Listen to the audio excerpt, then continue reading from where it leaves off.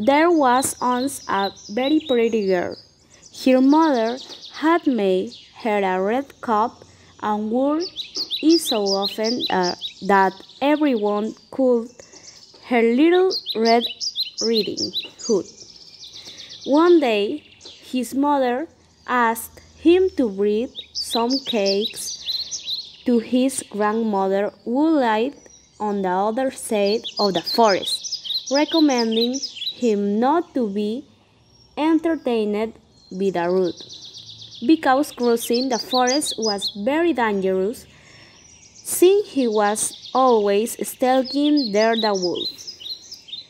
Little Red Riding Hood picked up the basket with the cakes and set off.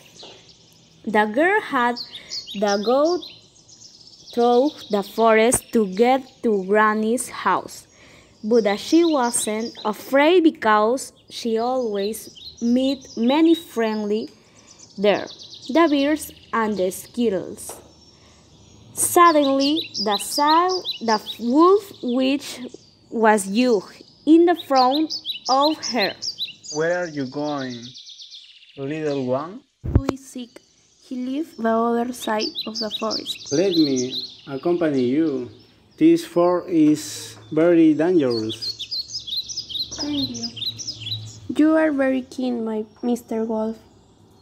But my mother has told me not to talk to strangers. Okay, sweet girl, but be careful on your way. The wolf walks away between the trees and Little Red Riding Hood continues to pick flowers, but will gathering enough the form beautiful bouquet. The skillful wolf ran to Grandma's house and knocked on her door. We see it. I am Little Riding Hood. I broke in your foot. Ah, come in there. I am in bed. Hi, Grandma. Surprise! Oh, help, help! But the wolf devoured Granny in an instant, dressed in his clothes and got into bed. Little Red Riding Hood knocked on the door. Who is it? It's me, your granddaughter. Come on, in there. Hello, oh Granny, what big age you have? There are you see you there? And Granny, what long, what long arms you have? There are you but you be there? But Granny, what big teeth you have?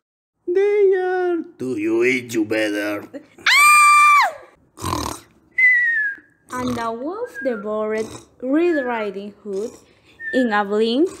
He was so satisfied that he soon fell asleep and began to snore loudly. Two sons caught the attention of a pacing lumberjack and took a look to find out.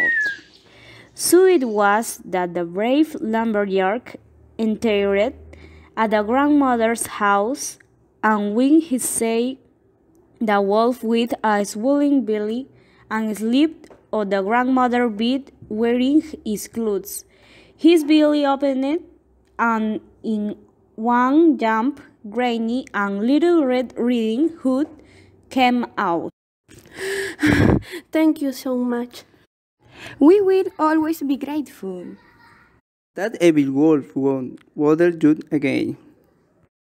Moral of a fable The classic story of Little Red Riding Hood and the wolf teaches about the dangers, innocence, and family.